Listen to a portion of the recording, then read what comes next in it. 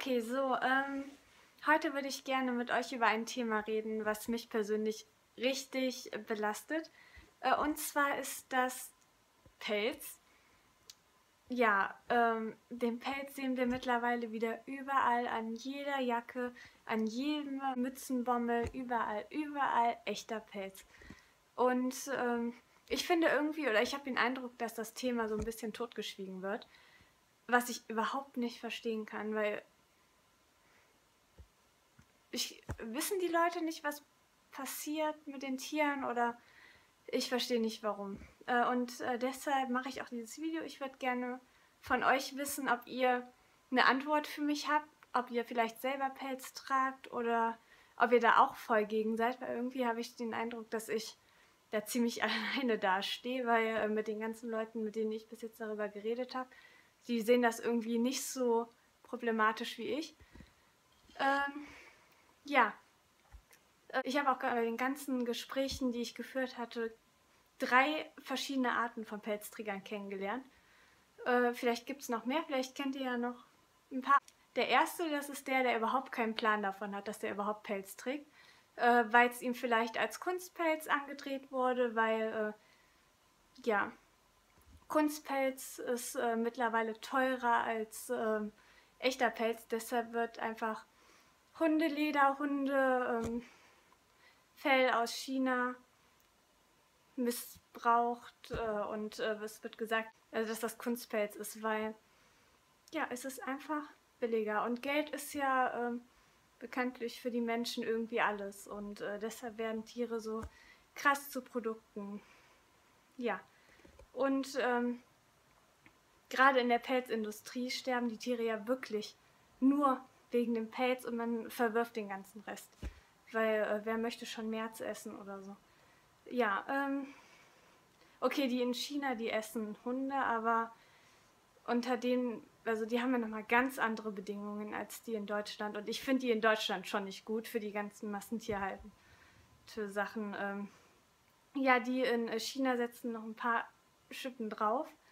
Also, ich weiß, dass, äh, was ich jetzt erzählen werde, klingt alles andere als schön, aber die Hunde werden da oder die ganzen Tiere in China besonders und in Deutschland auch werden in enge Käfige gesperrt für das ganze Leben lang und dann, wenn es äh, soweit ist und das Fell ist schön und die Tiere sind ausgewachsen, dann ähm, ja, werden die rausgelassen und in China zumindest, da äh, sind die ganzen Videos auf Peter, da werden die dann in so einen riesen Raum gebracht, wo die Hunde schon sehen, was mit denen passiert, weil ähm, die Hunde werden einfach nacheinander da erschlagen oder oh, es ist echt gruselig darüber zu reden. Äh, auf jeden Fall werden die dann ähm, erschlagen, manche sind dann auch nicht richtig tot oder manche werden dann einfach direkt gepackt und aufgehangen und dann bei lebendigem Leibe gehäutet. Andere gucken dann dabei zu, wie der Vorgänger da erschlagen wird, bevor wir dann an der Reihe sind und an die ganzen Schreie von Hunden, die in den Videos sind, das ist echt krass. Also ich wusste nicht, dass Hunde solche Geräusche machen können. Also ja, ähm, ihr könnt euch ja, wenn ihr wollt, das Video angucken. Also es ist aber, ähm, also man braucht echt starke Nerven dafür. Ich kann auch verstehen, wenn man das nicht angucken will, aber ähm, dann finde ich, sollte man erst recht keinen Pelz kaufen, weil ähm, die Augen dazu äh, davor so verschließen und dann Pelz tragen, das finde ich, das finde ich geht überhaupt nicht. Also ich finde schon, Pelz tragen geht gar nicht, aber das ist dann nochmal schlimmer. Ähm, ja, also die, ja, das war ähm, die erste Art von Pelzträgern, die ich kennengelernt habe, die Leute, die es einfach nicht wissen. Ähm, dann habe ich Leute kennengelernt, die es sehr wohl wissen, die auch wissen, was mit den Tieren passiert, äh, denen es einfach scheißegal ist. Die, ähm, die meisten, die ich kennengelernt habe, die haben dann so gesagt, ja, ich weiß, ich weiß, was mit dem passiert, aber das ist ja schon schön und das trägt ja jetzt auch jeder und so schlimm kann das ja nicht sein. Und ähm, Peter stellt ja sowieso alles schlimmer dar. Und äh, ja, das sind die schlimmsten Pelzträger. Die ähm, Oberfläche, also sorry, aber für mich sind das äh, echt die Leute, die ich kennengelernt habe, echt oberflächliche Menschen, die äh, einfach toll, die einfach geil darauf sind, so ein Accessoire zu haben. Und der Fellbommel, der sieht ja viel schöner aus als Kunstpelz. Und ähm, ja, okay, ja, stimmt, er sieht schöner aus. Aber ist das ernsthaft ein Grund? Sind wir schon so tief gesunken?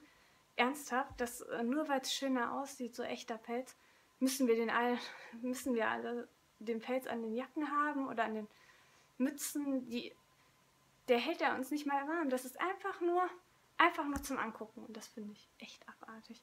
Wie lange trägt man so eine Jacke? Ein Jahr? Also ja, ähm, kann ich überhaupt nicht nachvollziehen und es gibt Kunstpelz, der zwar ein bisschen teurer ist, aber der dann wirklich genauso aussieht wie äh, echter Pelz. Aber das ist dann äh, wahrscheinlich wieder zu teuer für die Leute, weil äh, echter Pelz ist mittlerweile schon zum Teil wirklich billiger als äh, Kunstpelz. Ja, traurig.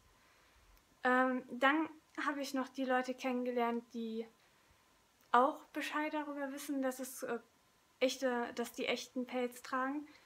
Aber die sind halt so ein bisschen naiv, schließen die Augen, wissen halt nicht so, was passiert. Die denken, das ist äh, so ein Abfallprodukt.